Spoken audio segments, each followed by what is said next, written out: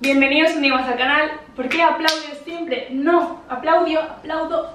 Bienvenidos un día más al canal. Yo soy Natacha y hoy os traigo un top 5. No es un vídeo de recomendaciones, pero podéis. Pero puede llegar a ser una recomendación. Voy a estar hablando de mis top 5 de momento que lo miro. eh, de cantantes, canciones, youtubers, americanas, youtubers españolas, aplicaciones, coches también he querido incluir, actores, mis fotos de Instagram y series. Esto van a ser todos los tops 5 que voy a hacer. Empezamos con el top 5 de cantantes. En el top 1 no podía faltar, la gente que me conoce, si me seguís ya lo sabréis, Raúl Alejandro. No puede faltar. Pues en el top 2 encontramos a Mike Towers. También, vamos. En el tercer lugar, Bad Bunny. Ya os digo que a mí el género de música que me gusta, pues ya podéis ver cuál es. Pero bueno, que también escucho otras cosas. En el top 4, J Balvin. Y en el top 5, Maluma. Hace dos años te había dicho que Maluma es el que más me gusta porque estuve muy obsesionada con sus canciones.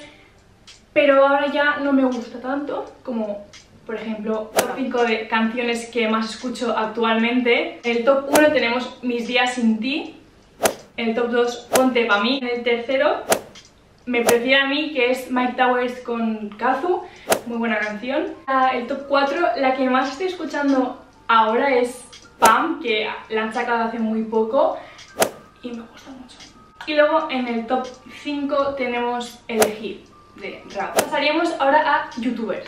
Vamos a hablar primero de youtubers americanas porque lo he querido dividir. Vale, en el top 1, esta youtuber no es americana, es canadiense, pero no podía faltar en este vídeo. La luz se va. Hola, nube, vete. Bueno, como decía, esta youtuber no es americana, pero es que me encanta, es una inspiración. Su canal es tremendamente fantástico, es que tiene un contenido súper, me encanta. De hecho, me encanta como 50 veces. Es Sadie Alice. Voy a estar dejando pues todo lo que estoy diciendo en la descripción del vídeo. En segundo lugar, el top 2 sería Amanda Díaz. Tampoco es americana porque lo descubrí hace poco que es cubana, pero lleva toda su vida viviendo en Estados Unidos y su contenido es en inglés, así que se podría considerar americana, pero que no es. También hace un contenido que me gusta mucho, enseña básicamente su vida y ahora en cuarentena está subiendo muchos vlogs. Y también hace mucho de moda, de maquillaje. Después, en el top 3, tenemos a una youtuber que creo que no es tan conocida, o al menos no he escuchado mucho hablar de ella. Es Olivia Messler. Es muy ella, es muy natural. Se expresa con naturalidad, sus vídeos son de muy de tú a tú. En cuarto tenemos a Kena Marie. Ella lleva un poco en YouTube, lleva creo que también un año como yo, pero hizo el boom y tiene bastantes suscriptores para llevar un año, o un año y poco lleva, o sí diría que sí, más o menos así. Y tiene 300.000 y wow. Y se le ocurra mucho, hace muy buenos vídeos, su contenido también es muy bueno. En el top 5, Emily Paulici, si lo he dicho bien. También es americana y pues su contenido me gusta mucho y también es muy natural. Antes de que me digáis nada, conozco a Summer, a Hannah, a Ellie, pero ellas son muy conocidas y quería hablar de youtubers que no lo son tanto. Ahora pasaríamos a youtubers españolas. En primer lugar, Marta Díaz.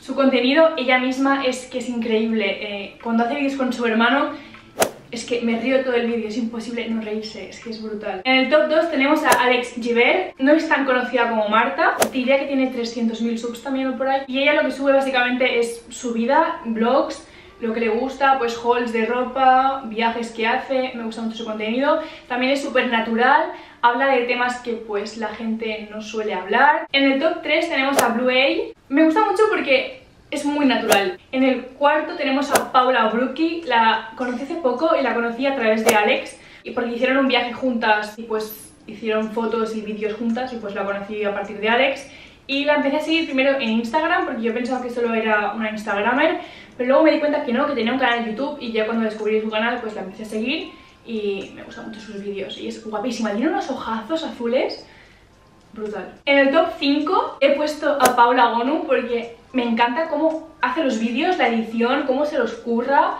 también cómo es ella. Voy a alargar un poco más este top porque así os recomiendo a más youtubers que considero que no son tan conocidas. Por ejemplo, ahora viene una que sigo desde hace muchísimo tiempo y es Irene Dream.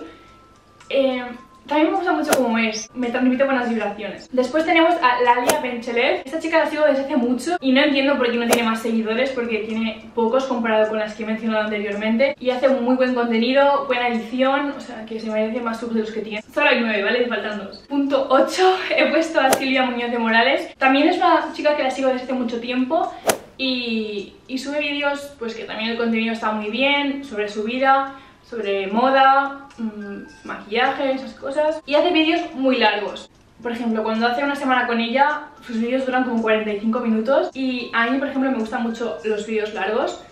Así que es la primera que me los veo. Y que me gusta mucho también cómo es ella porque no tiene pelos en la lengua y también te dice las cosas como son. Y ya por último he puesto a Clacobi. También ha sido desde hace mucho. Y hasta aquí el top de youtubers. Después vayamos al top 5 de aplicaciones. En primer lugar, Instagram. Mm, es que me pasaría el día en Instagram.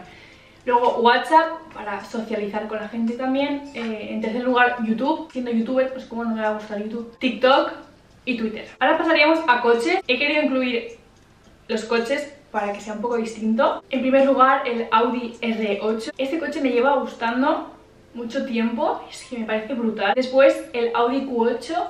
Un día por Barcelona lo vi y me quedé como pues un coche que es el que a mí me gustaría tener es el Audi Q3 y ya los últimos dos, el 4 y el 5, son coches que dices, oh Dios mío, mmm, Lamborghini Huracan Performante, que es el que tiene Alpha Sniper creo. Cuando hace vídeos de su coche es que me los pide todos porque es que es increíble. Y luego el Lamborghini Veneno me parece... También he querido hacer un top 5 de actores, pero en top 5 he puesto 3 actores porque son los que más destacan a mi parecer.